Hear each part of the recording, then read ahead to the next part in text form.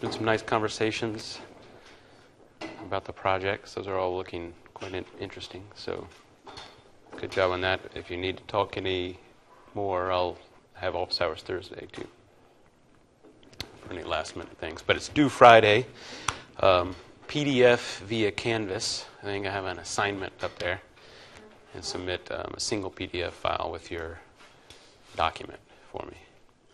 And um, there's no rules on formatting, etc., but it should be, you know, professional quality document report.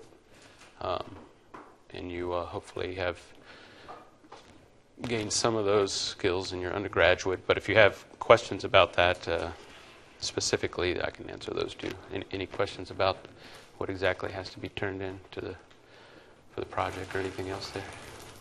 The proposal? No? Okay. Um, and I had somebody ask me too, yeah, how long does it have to be? It just it needs to be as long as it needs to be to explain what you want to explain. And uh, there is uh, value in being concise and uh, carefully wording things to make them easier to understand. So uh, that's vague, but uh, you'll find uh, you know lots of journals that you submit to will have page limits, and you might have two to five years worth of a story to tell, and just a handful of pages. So you want to keep try to be concise and um, and get to the point, and uh, think carefully about um, you know what are the main um, points that you want to express and then focus, focus on those and don't, don't uh, drift off into other areas. Okay? Any other questions there? And um, we're pr- probably, you probably should be at least through about half of the pro- problem set two, I think. I think we're around, around that. I think problem two seven will, we, will correlate with what we talked about today. So maybe if you're almost to that, um, you're, you're sort of in, in line with the class material. Okay, so last week we ended a little, a little abruptly with this um, example that I had of a ice skate that had a velocity of p and n. I think that's what I called it. I'll call this n. And I just called this x and y. And the angle between that ice skate and the horizontal and the x-axis um, theta. And this ice skate, right? We wanted to model an ice skate. An ice skate, if I uh, stick an ice skate in the in the ice and try to push it laterally, it, it's not really going to want to move, right? So it has this uh, no slip condition on the lateral mo- motion. Um, but as we, as you know, an ice cake can still make curves. We can have lateral motion. So the, the modeling choice here is that. Um, if you want to move laterally a little bit, you also have to move forward. And that motion constraint um, was that the tangent of theta equals y dot over x dot, right? So that relates, relates the velocity components of that point P in a way that um, um, if you have motion in one direction, you're always going to have motion in the other direction, according to that rule there. We rewrote that as tan x theta minus y dot equals 0, right? And then the question was, um, is this a non-holonomic constraint? And I want to write that.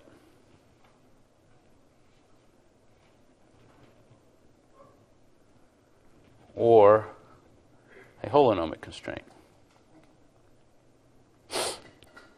What's the definition of a holonomic constraint? What, what has to? What does a holonomic constraint look like?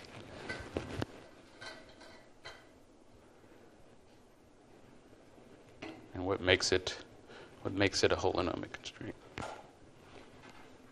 Chris. wasn't through in or what to do, I think we defined So it's only a function of, I'll say, generalized coordinates.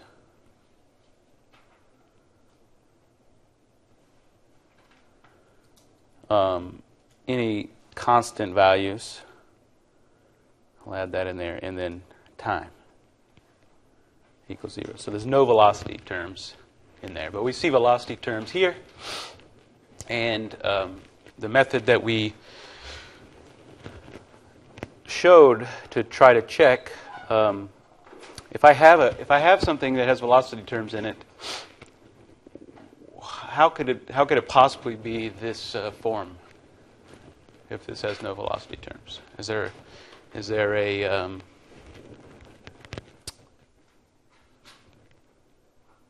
I don't know if I'm asking that question exactly like I want it, but uh,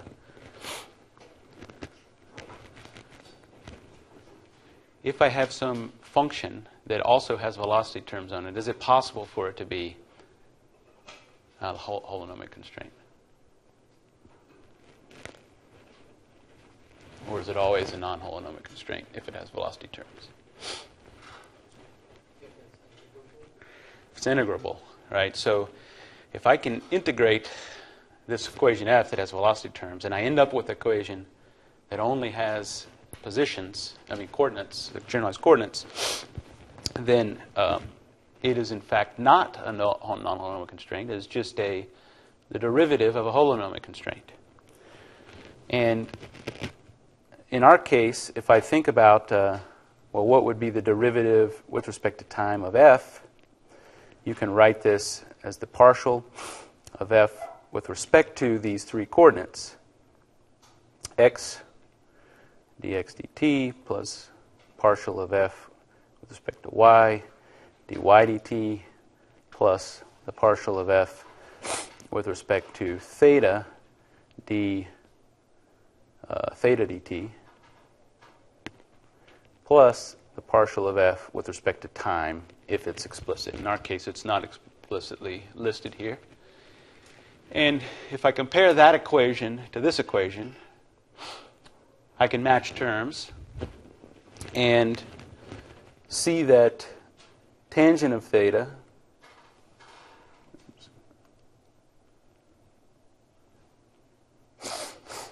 is the coefficient to dx dt. Right? So partial of f with respect to x equals tan theta. Excuse me. And then this term, which is a negative 1, is the term that is um, the coefficient to y dot here. So the partial of f with respect to y equals negative 1. And then finally, I, we don't have this term or this term in the equation. So partial of f with respect to theta equals 0. Partial of f with respect to time also equals 0. Okay, so I can just match terms and sort of find if this, if I know that equation is likely to f- fit this form, if it's integrable, there's one thing that has to happen, and that is that um, all mixed partial derivatives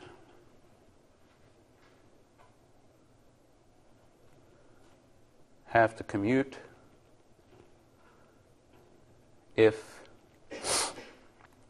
df dt is integrable. If I can spell integrable in. Okay? And I showed last time that um, if we check for the partial squared f partial of x partial this is equivalent to taking the partial with respect to x of the partial of f with respect to theta. Right, and if I do that, I have the partial of f with respect to theta 0, so the partial of 0 with respect to x is 0. And then I can also check the partial squared f of theta with respect to x, uh, with respect to theta, and then and with respect to x, in that order, and that is equivalent to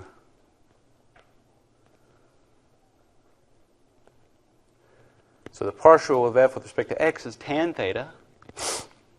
And then if I take the partial with respect to theta, I get secant squared theta. Okay? These are not equal.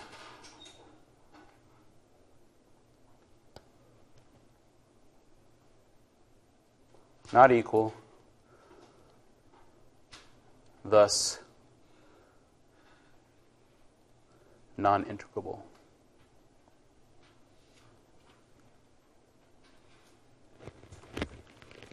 Right?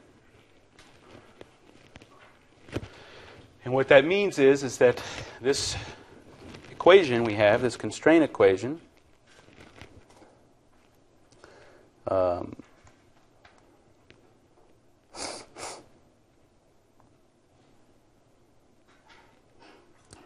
let's uh, so x dot tan theta y dot mi- sorry minus y dot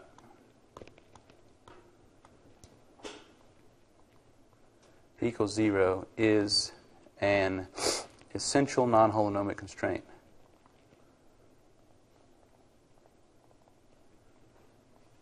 Right, a motion constraint.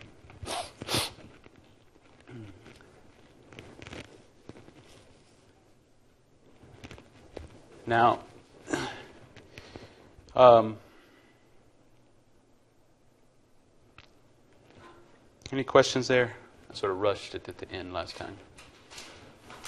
If you, if you make the assumption that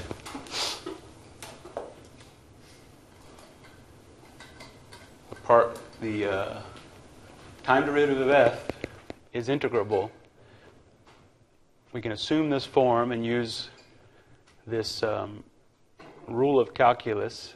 Um, I think it's called the Schwarz integrability. Integra, integral, I can't say the word integrability theorem or something like that that says that these mixed partials have to commute for that thing to be a differential equation like this to be integrable. And you can check that out, look that up on your own. But this is a quick way to, um, reasonably quick way to see if that's an essential, essential constraint. All right? So, um, what does that mean for us? Well, we had three coordinates right? Does anybody not have this sheet?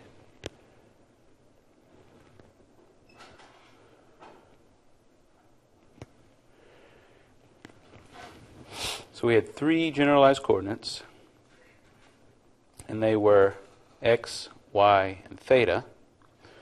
And we have one, excuse me, motion non holonomic constraint.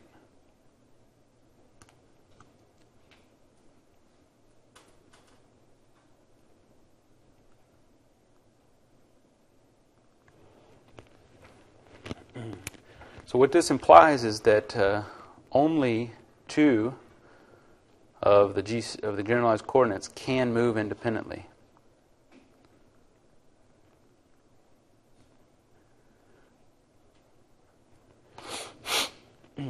So if we define a few variables here, if we let m equal the number of non-holonomic constraints,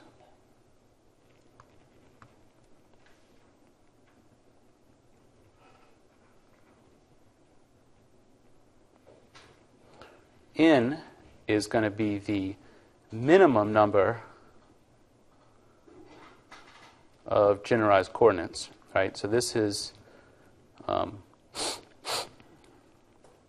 any extraneous coordinates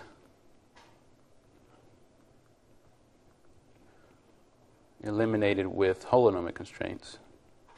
That's right, uh, already eliminated.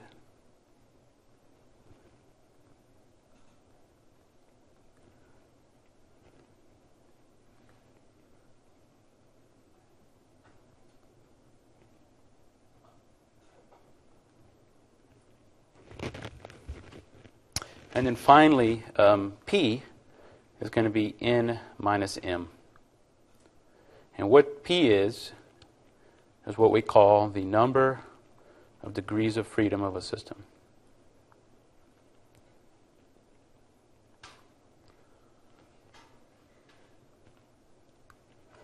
Right? And I abbreviate that as DOF sometimes. Okay? So we can, if you've gotten hold of the minimum number of generalized coordinates, it can describe the configuration of your object or space, and you've identified any essential non-holonomic constraints, um, and you subtract those constraints from the, the number of coordinates, you get p, and p is the degrees of freedom. And that corresponds to that only, in our case, only two of the GCs can move independently. Right?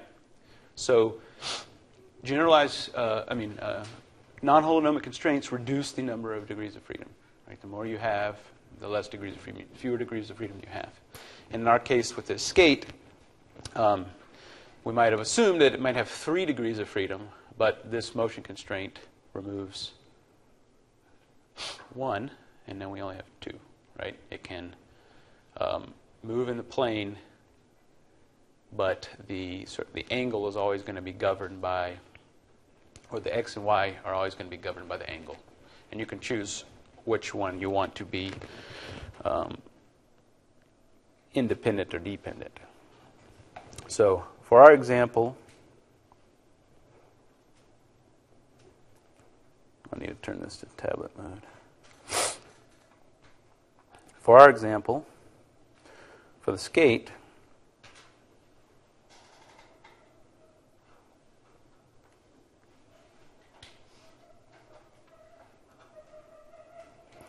we have um, b equals 3 minus 1, right? 2. 2 degrees of freedom. And uh, another way to state this um, in, the, in the word with some um, new words we'll use use often is that uh, the number of velo- this is the number of velocities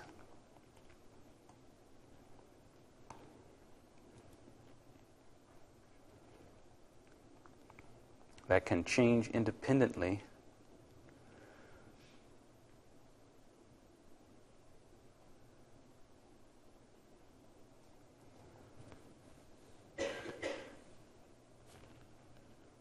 at any one instant.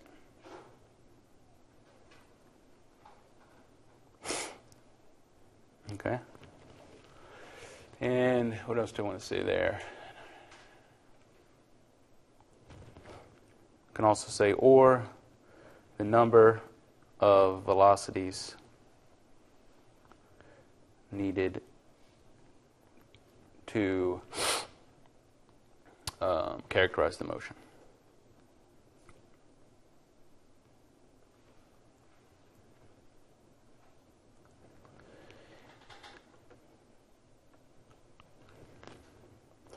Now, suppose that there are p independent speeds, independent velocity.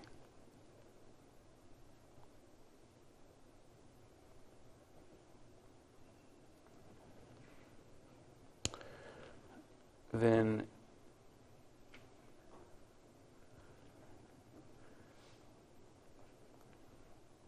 the remaining m velocities. Can be calculated with um, all right at the bottom. Come up here. Can be calculated with a relationship that looks like this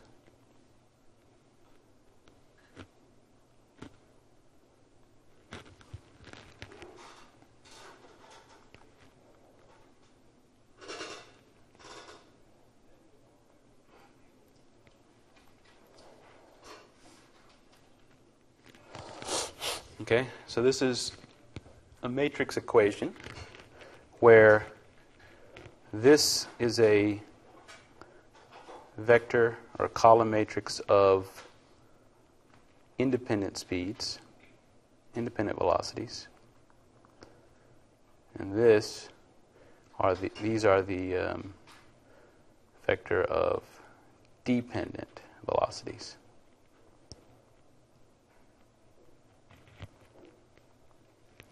And then we have u1 through un our total number of velocities. And then we'll have that r will go from p plus 1 to n, which would give a total of m items. Right? And what this, key aspect of this equation is that um, the independent speeds are related to the dependent speeds in a linear fashion. Okay?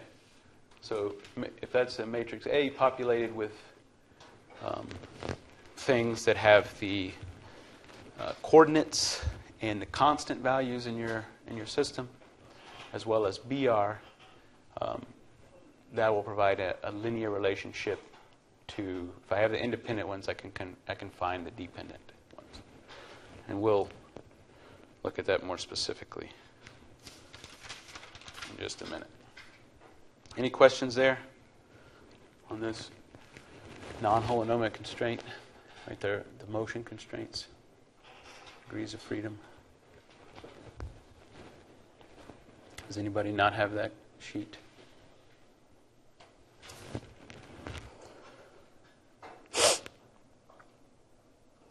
Okay, let's think about a little example to frame, this. Um,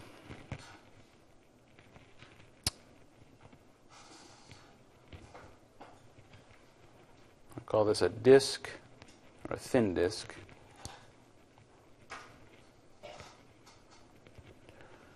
Rolling without slip on a sphere.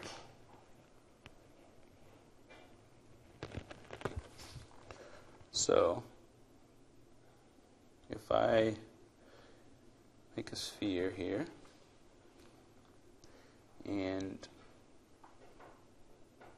the first thing I want to add is I'll add some axes. So this sphere is uh, fixed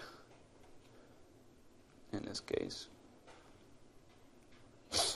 And we'll call it, uh, this is the sphere S. And there's a point somewhere on the sphere where this thin disk will touch the sphere. And we can locate that by some vector here. And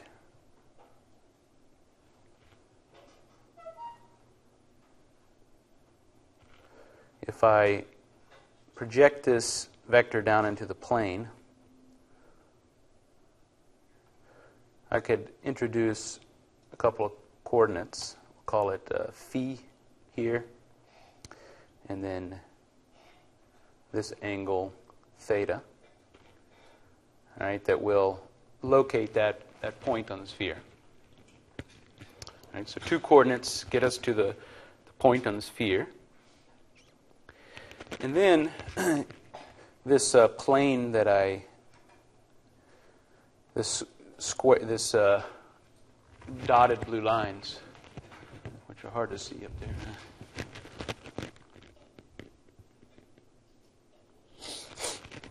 sort of define a plane. And if I imagine that um, this thin disk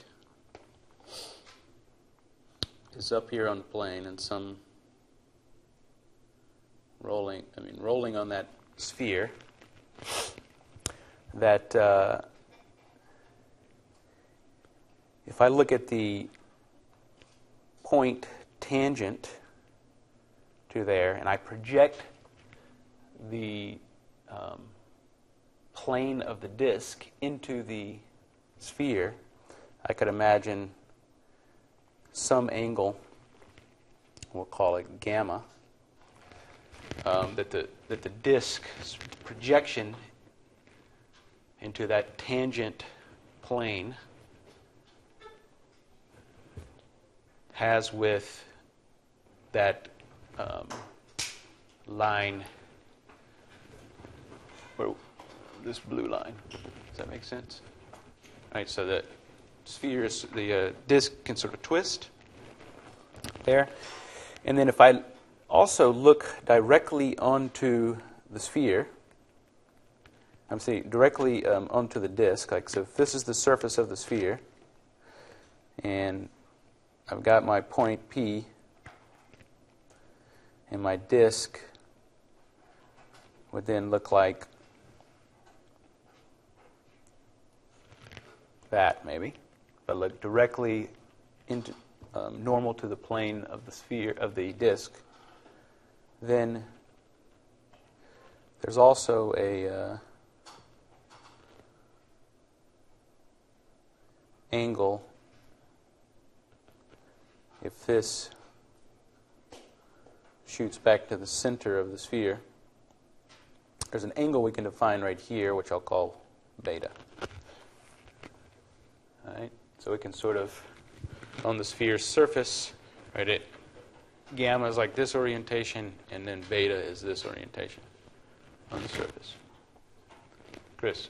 So is gamma reflection turning like yaw angle, let's? Yep, you could.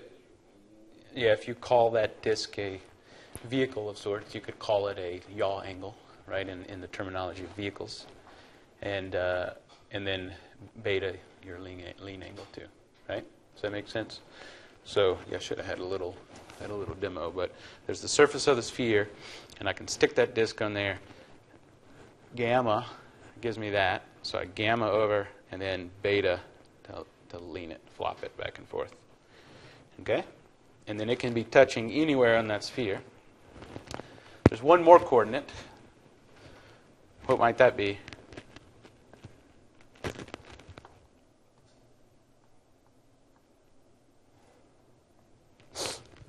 We want to know, in, uh, in this case, the full configuration of the disk relative to the sphere. And there's one more, one thing we're missing. What would that be?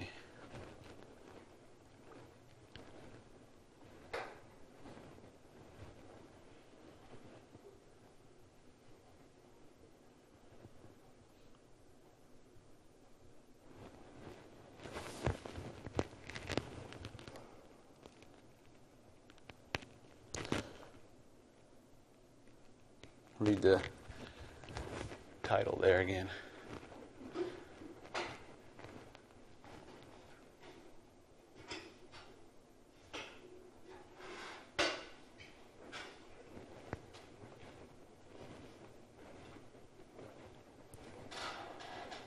Scott? Not the disk has rotated, not sliding on it, it's, it's rolling, so.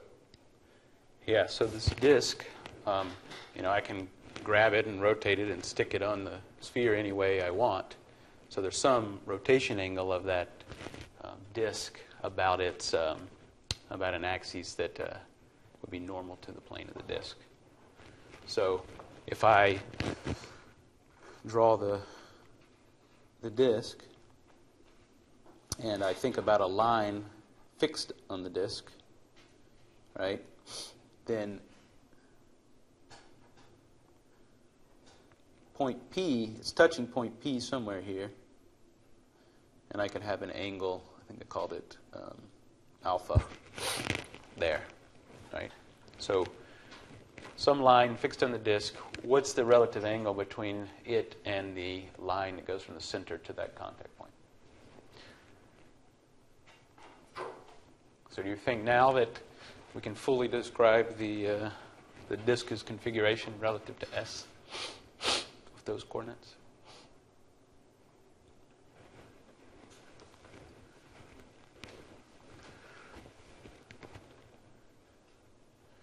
It's, it's sufficient in this case, and I want to call this uh, D, call the disk D. And um, so this point P, called a contact point P, uh, is an interesting point to to sort of look into. So. Um,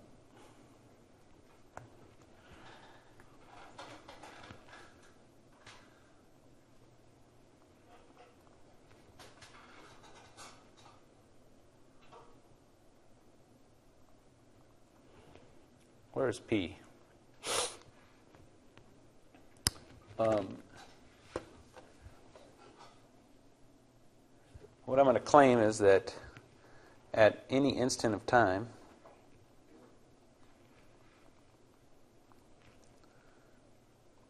point P is fixed in D. So, if you think about this, the sphere, and I'm standing in the sphere and I'm watching the contact point of this thing as it rolls around in the sphere, I could trace out some point on the, on the sphere, some, some path. Right? And that, right, that's point P. and then, um, if I'm on the disk, standing on the disk and it's spinning, you know, I can, I can stick a point on the edge, and, it, and every, it'll, it'll rotate and hit the disk every once in a while, depending on how fast the, the disk is spinning. So that's, that's not point P. Point P is this point that's always located at the contact point. So if I'm standing on, di- on the disk, P is just going to look like it's going around me, right? At uh, the rotation uh, a- angle of uh, alpha, the rotational rate of alpha dot. And what do we know about, if you think about a disk like that just rolling in a plane on, on a table, what do we know about that point P that's always at the contact point? Is there anything special about its motion? What's the velocity of point P in a simple um, planar disk rolling?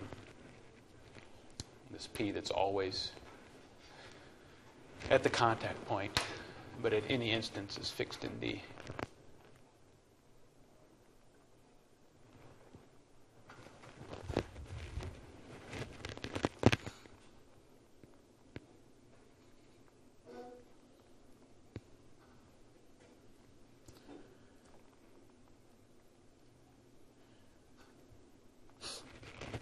Disk rolling like that on, on the ground, with a velocity, its center has just a velocity of v. What's the velocity of q? And I need one more dimension there. And that's r.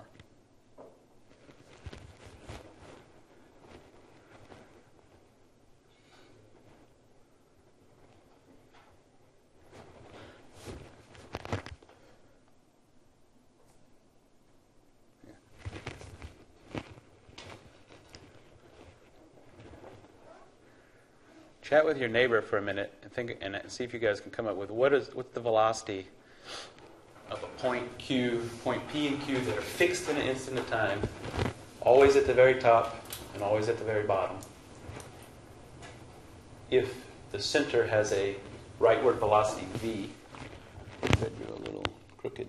Oops.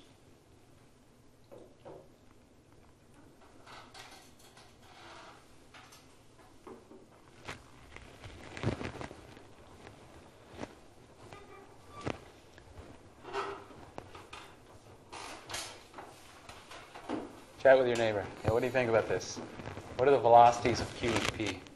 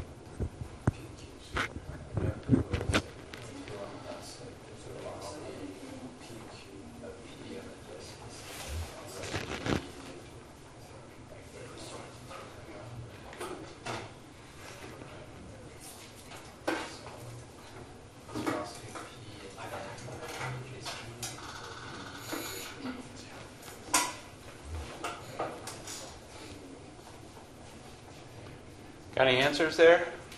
What do you think?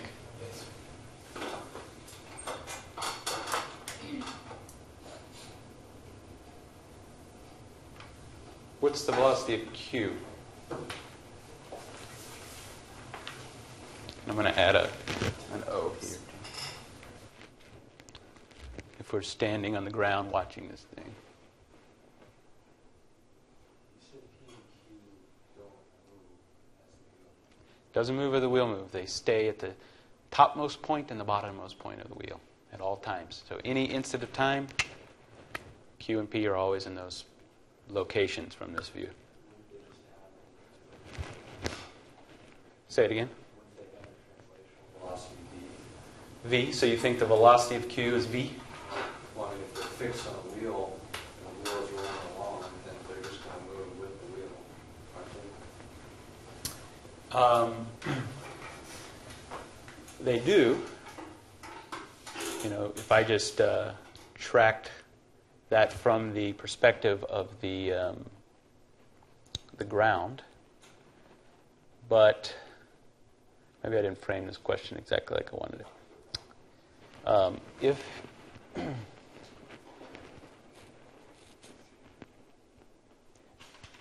what is the velocity? If I'm say I'm say I'm standing on the point at the center of the disk.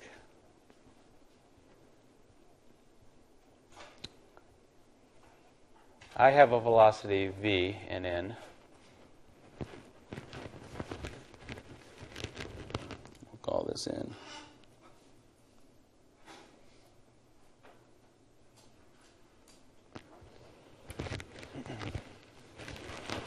right? And if I walked out to point Q at, at, at that given instant of time, would I have the velocity v? What would it be?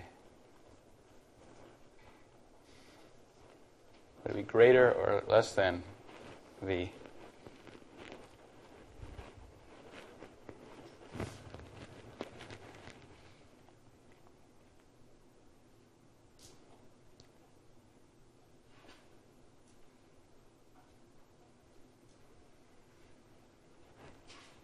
Have a guess? Not sure I understand the question. Okay.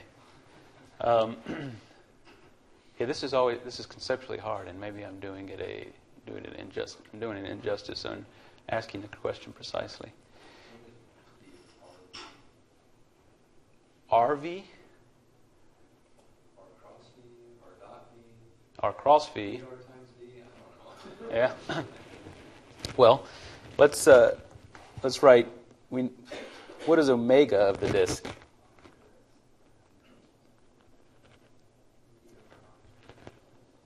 V over R.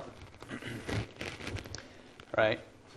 And if I know that V of O in N equals, um, let's say the magnitude of V over an O in N is this V.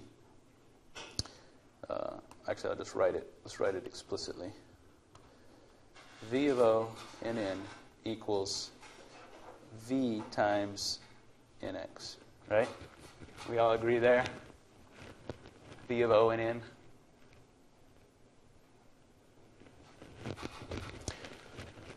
And if we want V of Q and N, we can write the um, V of O and N plus what?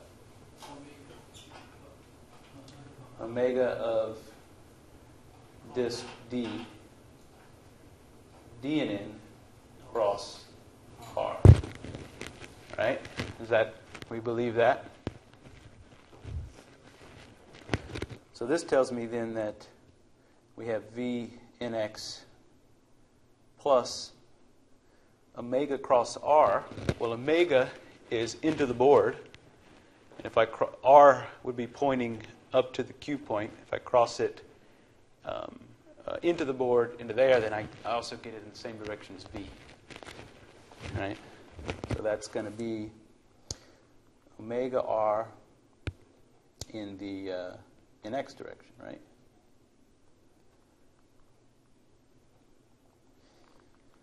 Now, what's omega r?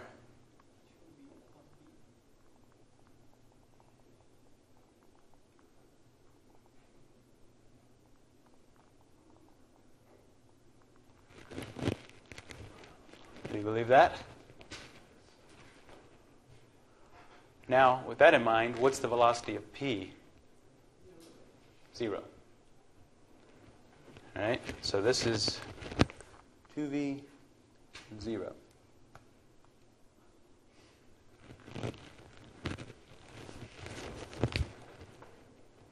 Okay? So that's a key thing. Um, and these rolling without slip things, um, we can imagine this point fixed at that location in an instant of time in D. And, um, and then if you look at the velocity in N, uh, in fact, the Q there is twice the velocity of V, and B, P is, has a velocity of zero. Okay? So this, these two facts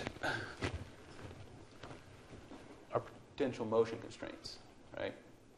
Got some expression for velocity, and I say it, equal, it has to equal this, other, this value, right? It's, it's now constrained to be a certain value. So for our disk on the sphere, we can um, write back to the velocity of p in, what did I use? S. Okay? There's slip. We had a planar problem here, but if we have a, a 2D, now we have a sur- it's rolling on this surface and it could slip in the direction it's rolling and laterally we can imply this uh, that point P can't move in any, either either direction, right? It can't move in those two directions. So the velocity of point P has multiple components, but in fact, it always has to be zero for the uh, 3D case, right? So that there is um, a potential motion constraint.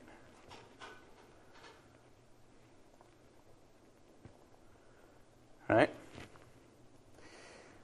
So I listed a bunch of coordinates, right? We had five generalized coordinates. We had, uh, I lost one of my variables, phi. Phi, theta, uh, gamma, beta, and alpha. Right? We said those set the configuration there. And um, this velocity, this constraint with respect to p in s, it actually is. Um, how many constraints? Is that just a single constraint? If p can't slip in two directions on the disk, get two constraints. Right. So if I expressed this in the plane, the tangent plane of the sphere, right? If I had a coordinate system that was in a uh, reference frame that was tangent to the sphere, that that moved around with p, I could express that slip in these two directions. And I get two components of that. So this is uh, actually two motion constraints.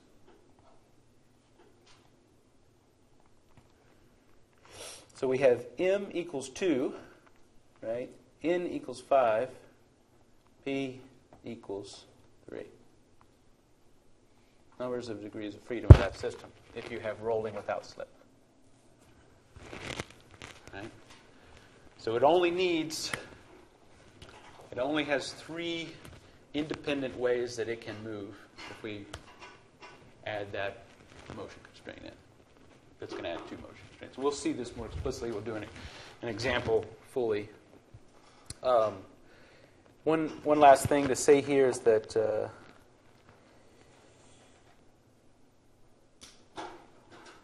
you could also say, well, what if the. Um, now, say I have a new reference frame and I have this sphere S and, and it has the disk on it. Now, what if um, S can fully move and rotate and in.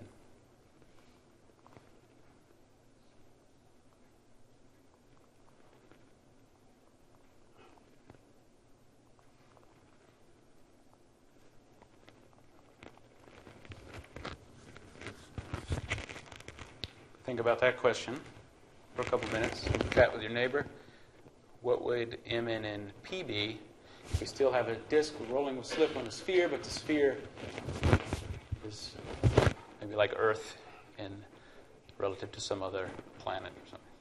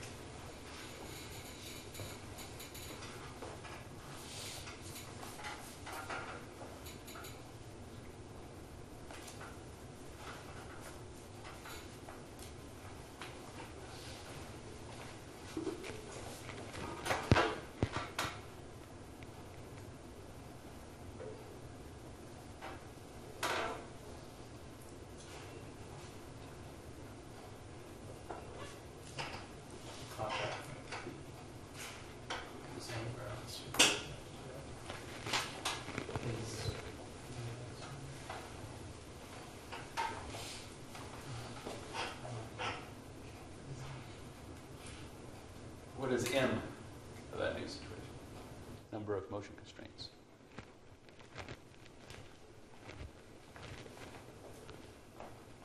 I want to say zero. How many? Raise your hand if you think M is zero. Two other people. Not a lot of confidence. Anybody got other ideas on M? Probably. It's two. Same thing, right? Yes. Disk rolling without slip gives us those two motion constraints.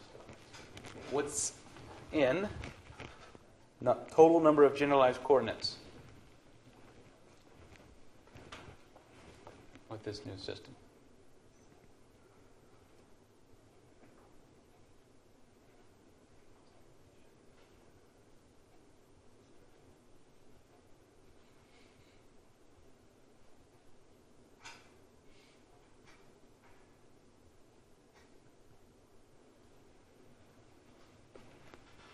Chris. 10 GCs? So you have two angles and distance describing the location of S prime, and then S prime can rotate in two degrees of freedom, then 360 degrees in all directions. So you could, you, s- you're saying there's a position that locates some point on, on S relative to N, right? How many coordinates are associated with that? You need two angles, right? Would two angles fully describe that? What's the third thing? Uh, Distance. Distance. Right, the length of that, you know, how far away I am from the origin there. Uh, plus, you could use two angles, or, or you could just use three measured numbers, uh, x, y, z, whatever you want. But we got a locate point, so there's three with that. Okay, and then you also mentioned Two rotations of S prime. two rotations. So we got a sphere, and if I rotate that sphere one angle, and then um, rotate it another angle, Sorry, it's three. how many? Three. Right, so if I have an arbitrary object, like this pen, I can spin about this axis, that axis, and this axis, right? So rotation is three dimensions too, right? Every angular velocity vector has three things. So this uh, rotation is also three. So we got three, three, and five equals what? 11 total, right? So uh, this is 3 plus 3, I guess. position, and rotation. And then what is P? Nine. All right? So this exercise um, is what you often have to do with any given system, right? Trying to find the minimal number of uh, generalized coordinates, as I mentioned last time, and generalized speeds is an art, sort of an art. Um, it's not always obvious. Um, you can systematically write down the motion constraints like we did, like all the coordinates and then the motion constraints. But with practice, you'll also just get a feel for identifying how many degrees of freedom a system has, right? Um, after you do enough, like my arm, if I locked my um, for, uh, upper arm in place, imagine maybe I have this is one degree of freedom if I just do that, two degrees of freedom, and three, right? How many coordinates do I have to be able to lock that in place? Depends on how many, right? And if I move everything else, I can start counting more and more joints. And this is a bad example too because we don't have perfect pin joints in our in our arm. There's also I can shift my, um, you know, my if I took my leg, I could also shift relative to each other fairly well. So you want to conceptualize this motion. And in general, if you think about all the coordinates, you'll get the total number of generalized coordinates. And then different motion constraints, though, are more tricky, and you're going to have to think about those and how they reduce the degrees of freedom. Okay? Questions there?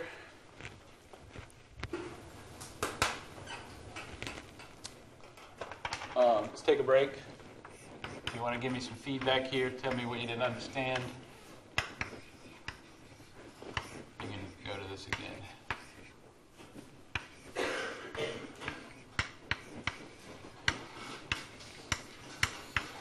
During the break, come back at uh, 10, uh, 10.58. Yeah.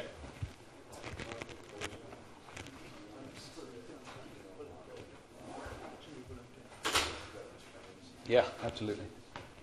Yeah, definitely talk about that. Even if, even if it's not correct at the moment. That's fine. Talk about what you think the coordinates are. Talk about what you think the reference frames might be. Talk about now. You can talk about maybe what you think motion constraints might be too, if you have those and degrees of freedom. Especially if we want to reduce this. Yeah. To remain in the scope of it. Yeah, talk about that. It's uh, we'll s- remember the. Uh, I think I showed you at the beginning of class the bicycle equations of motion. Took up all these pages. Um, that model had uh, it has a uh, location right over the bike. Those two two coordinates, and then it has a lean of the bike, right? It has a pitch of the frame. So now we're up to four and it has a steer angle, five, and then rotation of two wheels, six, seven. So seven generalized coordinates can set the configuration. But if you think about rolling this, too, you can subtract two for each wheel. That's minus four, so then you have three degrees of freedom. That three degree of freedom system took 30 pages of uh, equations of motion so they really get out of hand quickly, even with small numbers of degrees of freedom. So if you want to keep the scope um, more tract- tractable, uh, you could you could do the bicycle in that kind of that, that system's doable in this class.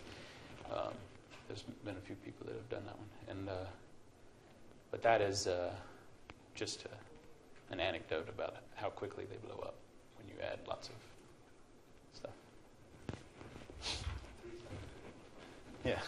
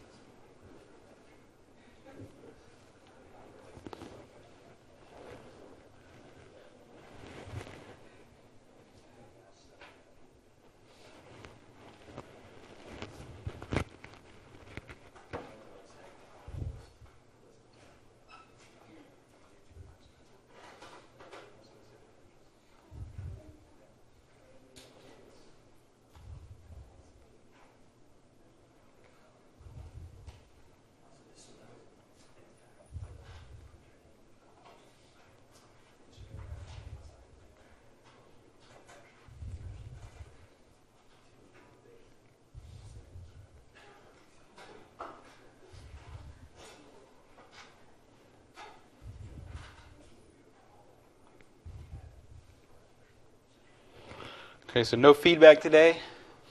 Everybody got all that? Don't be shy about sending me some feedback notes there so I can re- talk about or uh, improve anything that needs to be helped out. Okay. Any questions Head over the break there?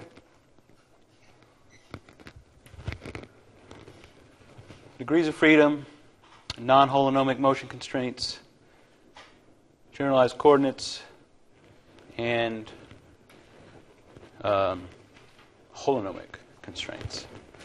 So let's talk about a few things here to uh, move on. So, one big question is what happens to the system that you're interested in as time progresses?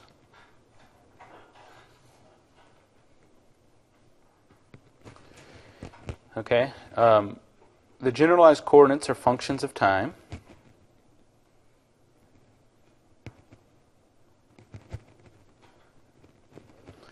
And you could write them in a column matrix form, for example. We'll call it Q bar is uh, Q, whatever, Q1 all the way to, sorry, these are um, scalars, right? Q1 to n, right? n generalized coordinates, and uh, I leave the t out, but q bar is a function of time, right? Change of the time. And we, we really want to, this is typically what we want to know about any system, like what is its position and orientation and uh, configuration at any given instant of time. but Newton discovered that F equals ma, right? In A, well, that's Q. Um, well, let me not write that. F equals ma, right? And A is related to Q double dot, right? So if I knew the time derivative of bo- all of those coordinates, um, I could express accelerations in terms of those. Um, so that means that to get q bar from q double dot, this equation we have above, we have to integrate twice, right?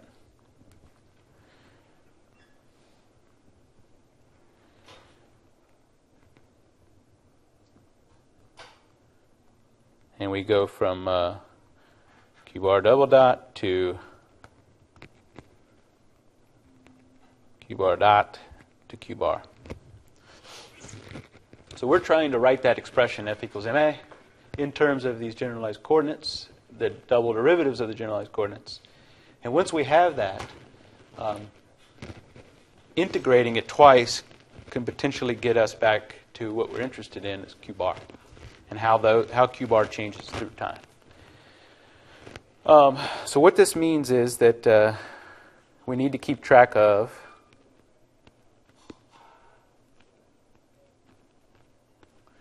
of n independent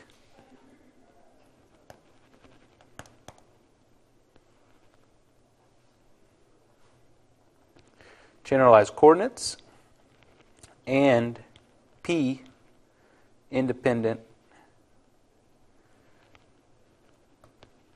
I'm just going to call them uh, uh, velocities here. Right?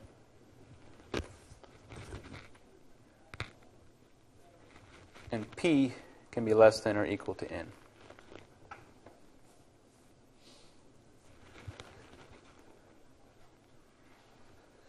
It may seem obvious to um, use q bar dot, let me make q bar dot.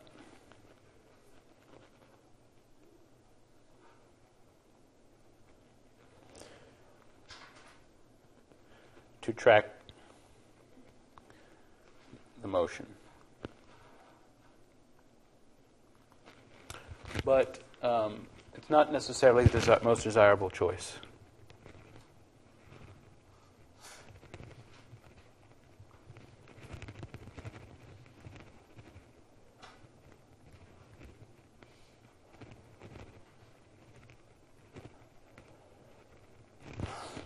So, what we've, we've talked about so far hasn't really been specific to um, what's called Kane's method, which this book um, that, we, that we're working from talks about. Uh, but this is one of the aspects that makes it stand out. If you did, um, if you formed equation F equals ma with the Newton-Euler approach, right? You probably learned in Dynamics 101, or if you've, uh, how many people have used Lagrange's approach to forming F equals ma? Nobody seen that? So there are a lot of approaches to get to F equals ma, and they all have little different differences. And um, some of them are more suitable for other things. And um, method uh, makes this pretty clear. In Newton-Euler method that you used in Dynamics 101, you always you can always choose q dot, right? So position x, I just choose its velocity v, and that's going to be the variable in my equations of motion. And um, same thing in Lagrange's method, which you, none of you guys haven't seen yet, but um, I'll try to say a few things about that a little later in class. Um, but it turns out you don't have to always choose just the time derivative of the coordinates as the variable to keep track of. And it becomes beneficial because it can sort of reduce the complexity of the equations if you don't, if you choose differently. So, with that in mind, um, rather, we can use something called generalized speeds. Okay? So we had generalized coordinates. Now I'm going to make an explicit definition of something called generalized speeds. And these um, are equivalent to q bar dot, but we can uh, express them in a different fashion. So consider a system S.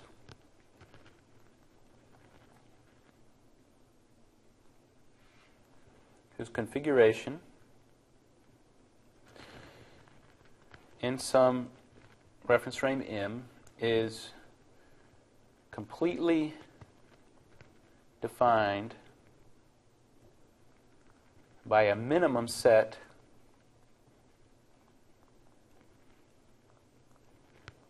of um, generalized coordinates, right? So we've got our minimum generalized coordinates, defines the configuration of that system, and they look like Q1 to Qn, right? T- in minimal generalized coordinates. Um,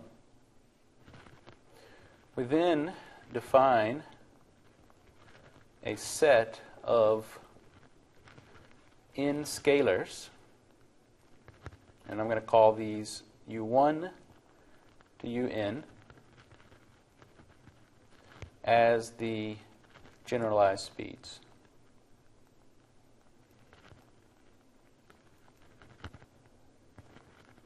of S and N. Okay? And they can only be generalized speeds um, if two things.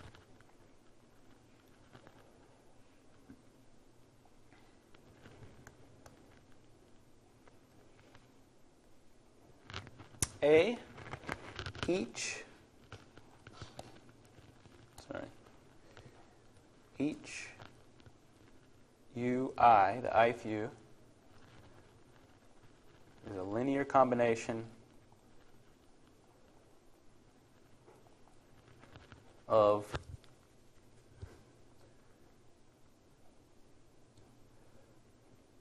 of each qi. And to write that mathematically, ui equals the sum from j to equals 1 to n some matrix, call it y, capital Y ij, times the jth q dot plus a remainder term we'll call z, big Z i. And that's for i equals 1 to n. Right? So here we have any given u is some linear function of the q of the q dots, right? And it may be function of all the q dots or some of the q dots.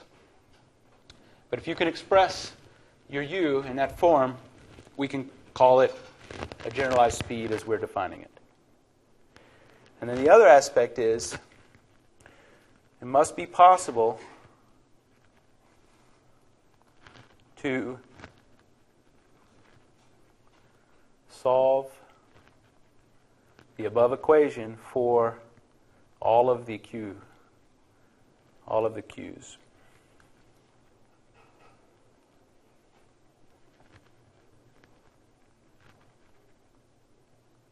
given the use. oops all right and to put that in mathematical form, you can write q dot. Right, I can solve all the q dots here. Sum j equals 1 to n of uh, little y kj uj plus little z k k equals 1 to n.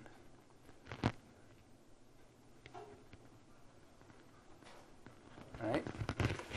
So there's this linear relationship, and this implies that this matrix Y is invertible. Okay? So Y ij must be invertible right, for that second thing to hold. And, and also a note. Um, oops.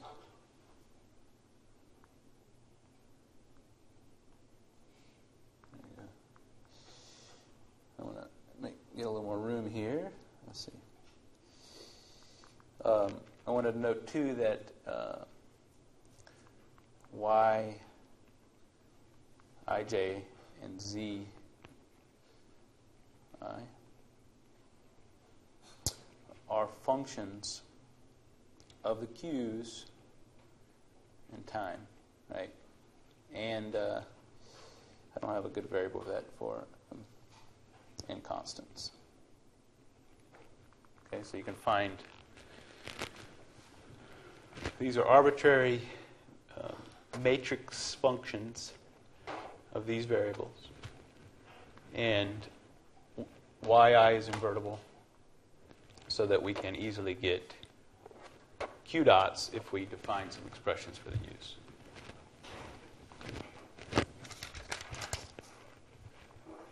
Questions here?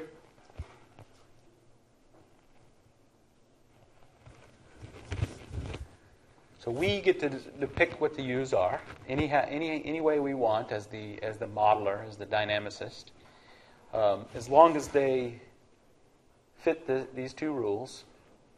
And then um, it turns out that they often can help you, help you out. Everybody, got, anybody not have this page?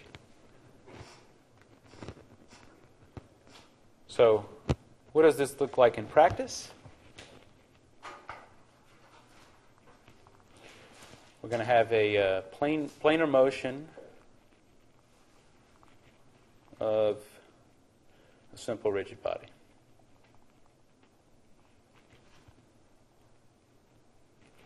So I'll uh, define a reference frame in here and some arbitrary rigid body that has a mass center. And I'm going to fix a coordinate system.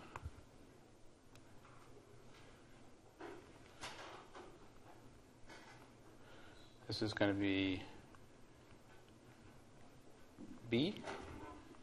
So we'll have B1 and B2. And I'm going to locate, I'm going to add some coordinates in here. We'll call this Q1. This variable that locates that. We'll call this Q2. So we locate the center of mass, and then we'll call this angle Q3 that gives the orientation of that rigid body in the plane. And then I'm going to call this point B star. It's the uh, as the center of mass, and I think that's all we need here. So similar to the ice skate, but this time I'm not going to have um, the motion constraint, right? It can rotate, slip, and slide any direction. It's just like having a sheet of ice and this block, and you s- send it around on that sheet of ice. So a few things, right? I can write uh, V1 equals C3 N1 plus S3 N2 and uh, B2 equals negative S3 N1 plus C3 N2. So I can express these body fixed references to in the in frame with those. And then we can write out a few terms, right? So I've got angular velocity of B and N is just simply going to be Q3 dot N3. And N3 and V3 are the same, so we get Q3 dot V3 there too. The velocity of B star NN is simply Q1 dot N hat N1 hat plus Q2 dot N2 hat. So that's the velocity of B star in N expressed in the N frame. So we had a Piazza question that popped up. I haven't had time to answer it. That's, that uh, is related to this, but I also have this reference frame B that's the body fixed reference frame. So we have this body fixed reference frame B. I can, you know, this has a this B star has a velocity in N. I can express it in B if I want, right? So I could express the body fixed velocity. It's still velocity of B star and N, but if I replace N1 and N2 with my relationships up here, I'll end up with Q1 dot C3 plus Q2 dot S3 all times B1 plus Q2 dot C3 minus Q1 dot S3 B2. So this is the body fixed velocity. All it is is I've expressed the velocity of v star and n in the coordinate frame that's attached, always attached to the body. And I think the Piazza question was asking about, well, why would I, something about I was expressing an angular velocity in terms of the, the reference frame of the body, like this body B. I could also write, I did that right here. Turns out that they're the same in that case for those simple rotations. Uh, but that's fine. You can do that. There's nothing wrong with. So all it means is is that if I'm standing uh, in N watching this thing, but uh, thinking about what that velocity vector looks like, always from the B in the B frame, um, it's going to look. It looks it's still the same vector, but it's always going to be um, have these components if I reference it from the B frame. And the body fixed um, angular velocity and velocity of things is, always, is very useful. It's often a very convenient place to um, actually do your analyses from. And, and one reason is is this: I, I could write this velocity of b star and n as u1 b1 plus u2 b2, where these two things are my generalized speeds. Right? I chose them.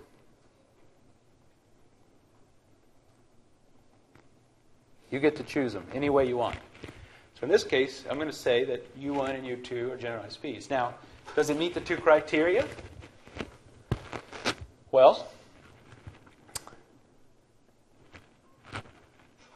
U1 equals Q1 dot C3 plus Q2 dot S3, and U2 equals Q1 Q2 dot C3 minus Q1 dot S3.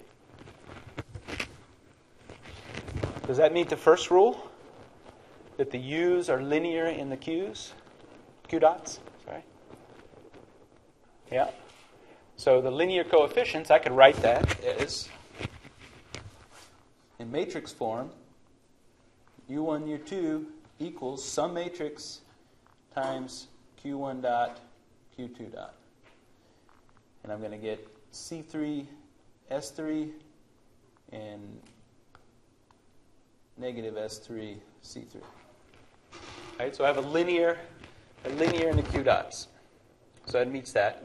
And then what's the second rule that it has to meet?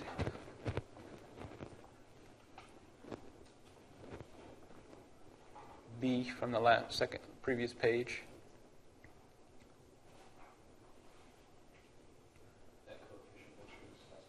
Has to be invertible. Right? So can I solve for the q dots if I have the u dots? Right? Is that invertible? What do you think? Is that invertible? Yeah, this is invertible. Um, you know, you could you can solve the equations um, just by moving everything to the right but one of the q dots and then plugging it in the other, or you can use Gaussian elimination with this um, or Cramer's rule, right, for a simple uh, 2 by 2. And a 2 by 2 uh, inversion is, uh, is simple, right? So if I call this y, y inverse then is going to be C3, C3, right? They just switched, but they're the same thing.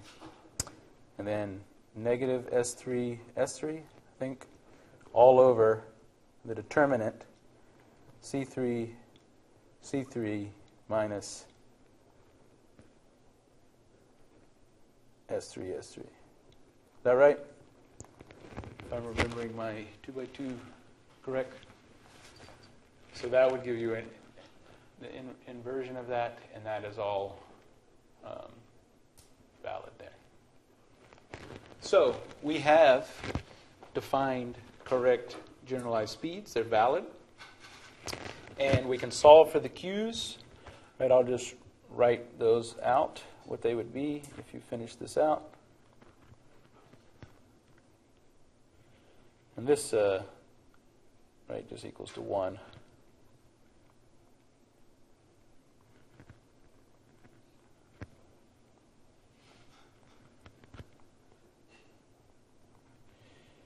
And then I'm going to choose one more generalized speed that uh, U3 simply is Q3 dot. As a simple definition. Now, what does this do for us? If we've got the velocity of B star in A, um,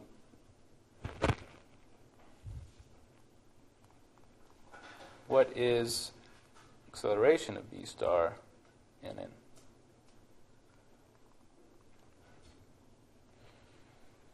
acceleration of b star in n is going to be, we could say it's the acceleration of b star in b plus the um, omega b and n crossed with the velocity vector v v star in n. Am I doing that? I didn't, I didn't write that right. This is the acceleration of v star. Um,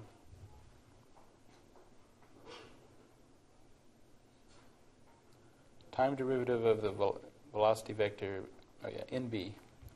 We. That's what I wanted. Plus the angular velocity of b and a crossed with vb star in b. That's what I'm doing wrong. Right, so we can write this derivative out like that. And then we have um, the time derivative of the velocity of v star. I still think I'm saying this wrong.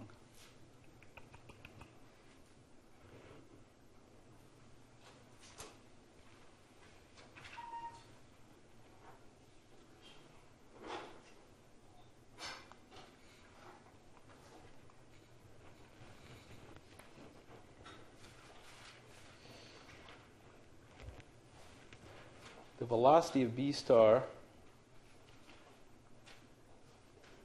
This is the time derivative of the velocity of b star in v dt. And the velocity of b star with respect to b, though, is zero. What am I doing wrong here? Making this up wrong. Right to start, the velocity of the star? Is that what you're taking derivative of, right? Yeah, let's start over here. It's the dv v star and n dt, but we can write that out as um,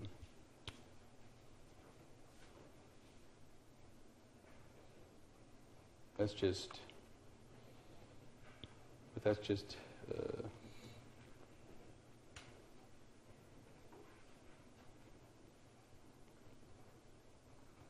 VB star and B plus omega V and, in N crossed with VB star and B.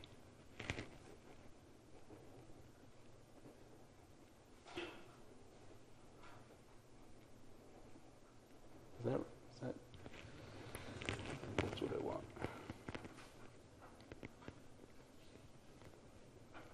Cross with B star in N. V confusing myself and forgetting my rules. All right, we know alpha b in n equals, in our case now, we have this new definition, u3 b dot, u3 dot b, 3. And um,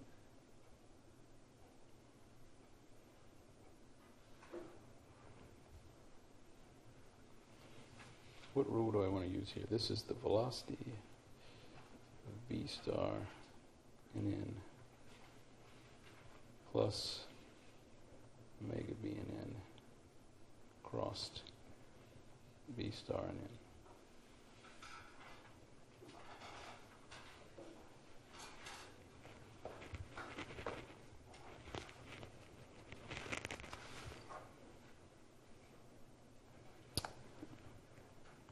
Oh, this is what I'm doing wrong. All right, sorry about that. Confusing myself. The time derivative was in the B frame. Okay, so I can rewrite. This is the. I'm forgetting my uh, extra in there. So this is the time derivative of VB star in, right, in the in frame. But I can also write this as the time derivative of v b, st- v star in, in the v frame plus this omega cross uh, v term, which I've got a big mess here now which you can't read. Omega v and n crossed with v b star and n.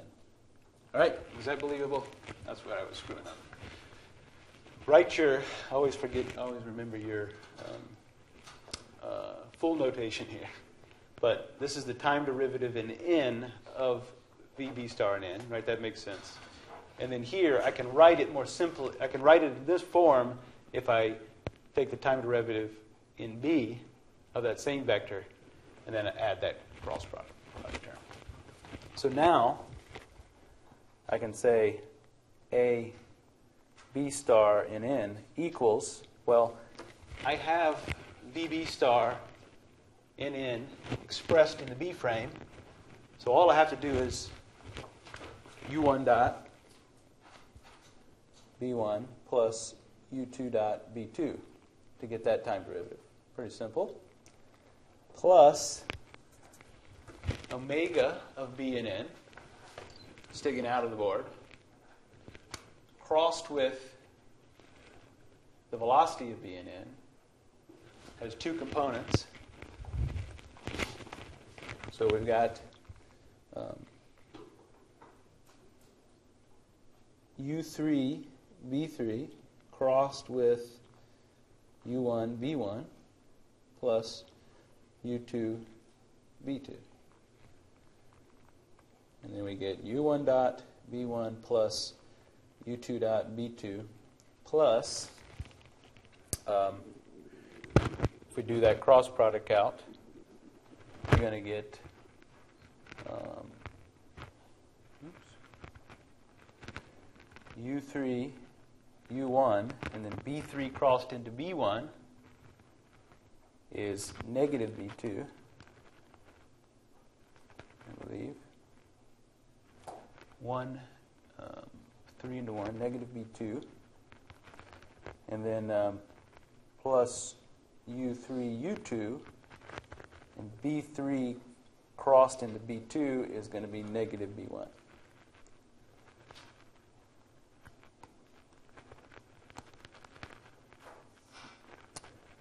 B3 into B1 is, po- is positive.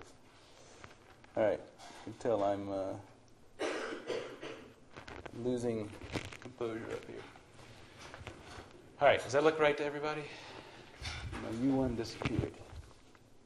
U1 dot U1. And then if we write those together, we get U1 dot minus U3 U2 B1 plus U2 dot plus U U3 U2 B2. All right. I think that's right now. So the, the message that I want to come out here, though, is that picking these U's, right, if I kept um, the definitions, or did I write my U, U equals? Up to it.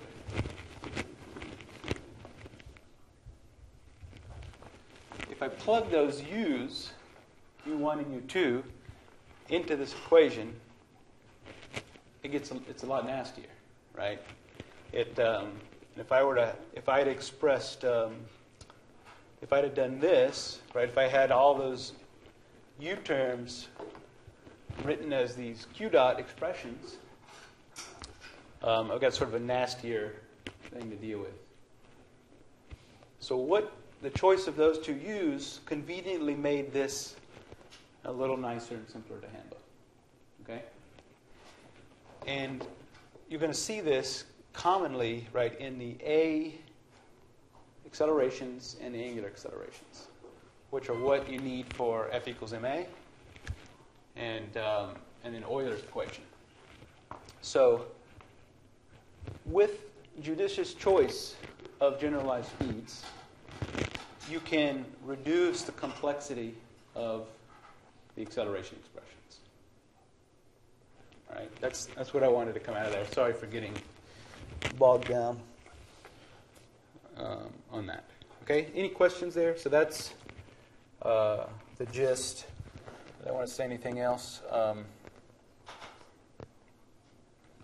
I'll just add this note that uh, in practice,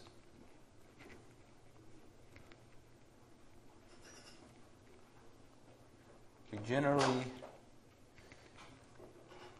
choose the UIs, all the U's, to be components of velocities.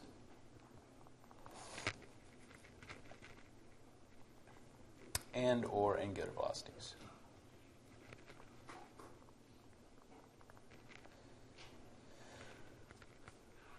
Of points or bodies of physical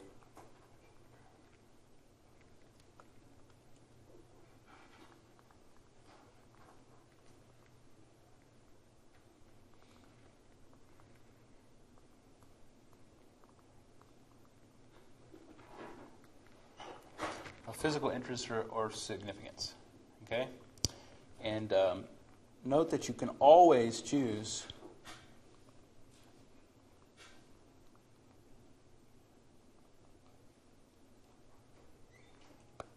that you want ui equals qi.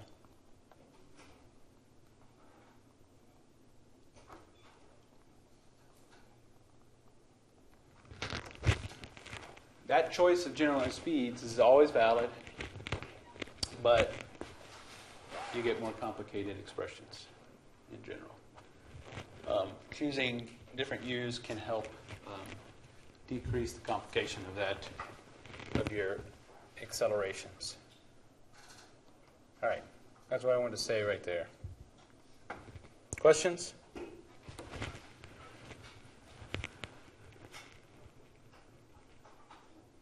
So use the modeler, get to choose the generalized speeds, and you can pick them. Typically, measure numbers of different velocities or angular velocities are good choices.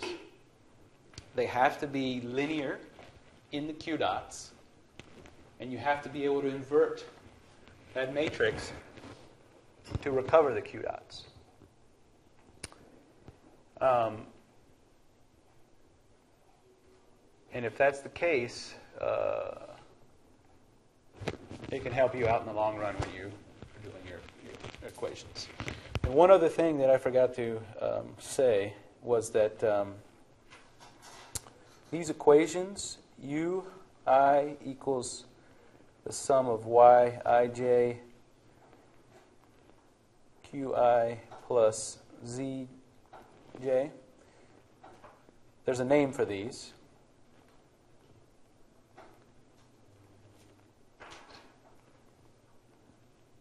They're called the kinematical differential equations.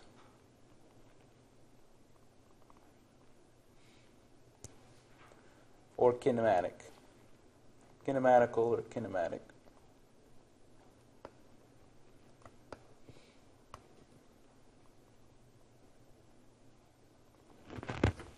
Right? And they're called, kinem- they have the word kinematic in them uh, because they only have to do with um, velocities and coordinates, right? There's no, um, we haven't got to forces and torques and uh, inertia, etc. They're, they're strictly about the kinematics. And then they are differential equations. I've got a dot right there. Right? And they're differential equations because, like, this is a differential equation. Right? I have q dot equals some function, and they are differential equations. Right? Okay. I think that's what I want there. So we've got, what, 12 minutes left. Um, hmm. I'm not going to be able to get through the example I wanted to do, I don't think.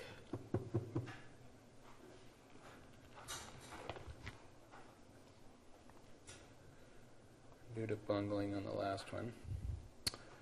Um,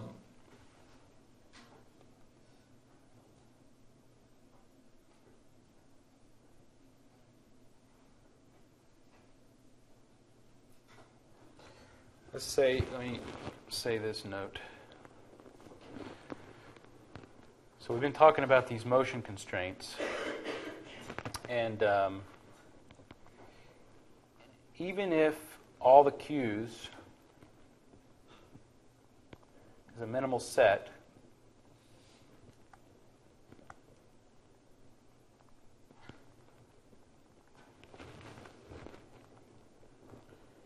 the generalized speeds that you choose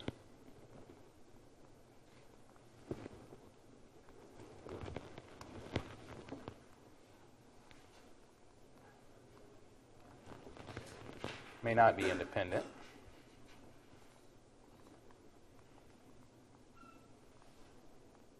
Right, these were the motion constraints. Um, we'll make them, make some of them dependent, uh, if you have those. Important to note that this is a property of the system.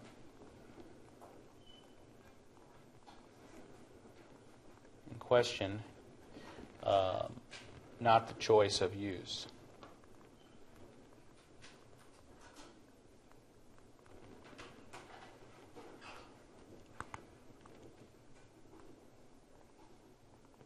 Right, so you can pick any generalized speeds you want, and it's not going to change anything about the motion constraints.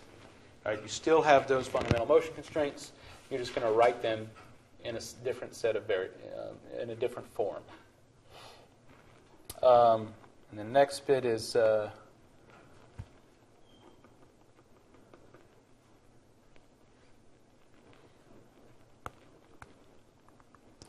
if if there are no motion constraints,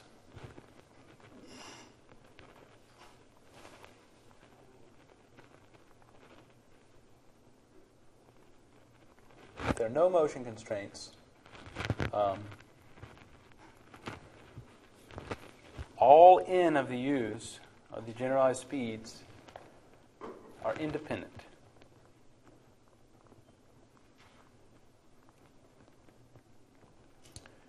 And the system is a holonomic system.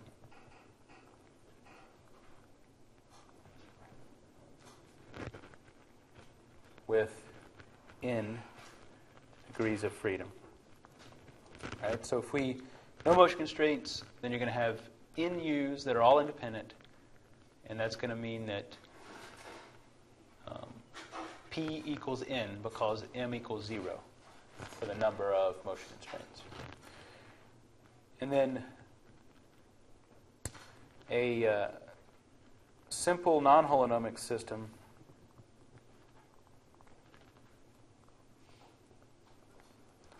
is subject to um, motion constraints.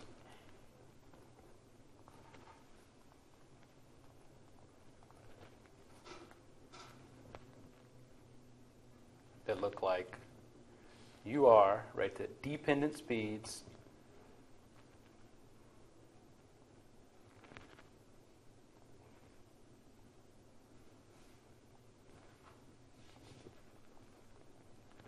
These are, oh no, they're not.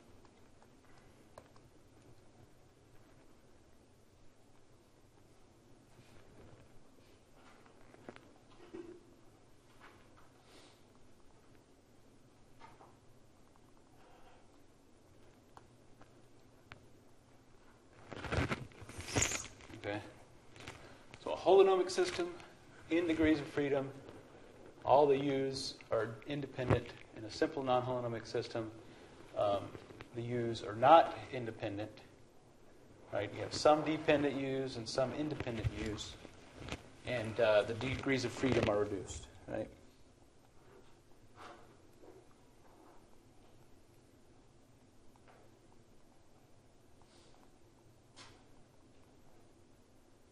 And here you have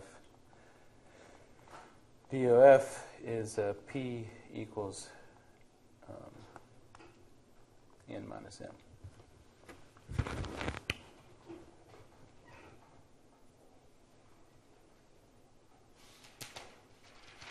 All right. So that's that's motion constraints. Um, I'll do an example Wednesday, and and then we'll talk maybe say a couple more things about them, uh, but depending on the system that you're working with, you may or may not have motion constraints. And um, they complicate the problem. Um, right? You get this set of equations, and ultimately, um, you can write this in matrix form too, and you get, and you might have to invert um, that to find the.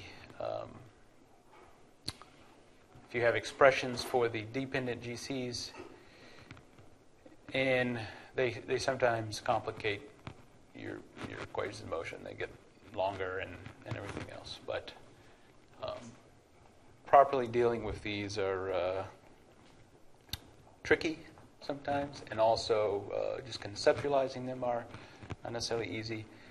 But um, we'll, we'll see as we move forward that Kane's method, because we up front state this and choose these, both the kinematical differential equations the way we do, and, and then the finding the independent and dependent generalized, those are supposed to be generalized speeds, not coordinates, that uh, we can systematically deal with him in a fashion that is, I would say, simpler and more straightforward than if you were solving this with Newton-Euler approach. Okay? And we can do some comparisons later. Um, I got just a couple more minutes. I had a cou- some questions about, you know, I haven't, I've been letting you guys learn Jupyter and Python on your own mostly. And um,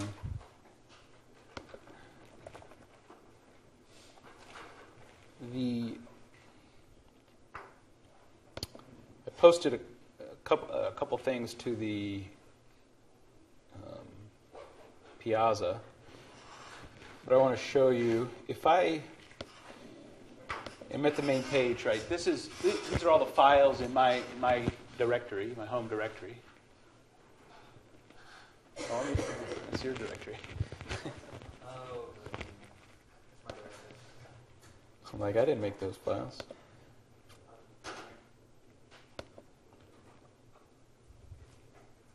Might want to up delete your login information.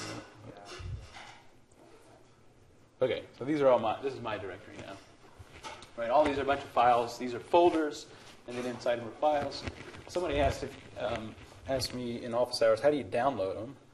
Well, I can click a single file, put the check mark beside it, and then up here, there's a download button. And I can save that to my disk, my, my computer. Um, it's a little painful because you ha- can only download things one at a time. And I don't think you can download a folder. Yeah, you can't. But uh, I have a little script. If you go to New Terminal, this gives you a. Uh, this is a server that's running Linux, and so you have like all the Linux-based commands here. We made a little script to, help you back up your files. If I type backup home and just press enter, it takes all the files in my directory that I can see right here and puts it in a file right here called backup.zip. Right, so you can just run that whenever you want to, and then click that one file and download it. Um, back up your files. This is we just fired up this server this summer, and um, I'm sure something will go wrong. But uh, be, be sure to back up your files as you go along, and we'll. Um, and that's that's one way to do it. Any other any other two minute questions on any of this stuff? Any other troubles with working with this system that you want to know about? No. All righty. See you Wednesday.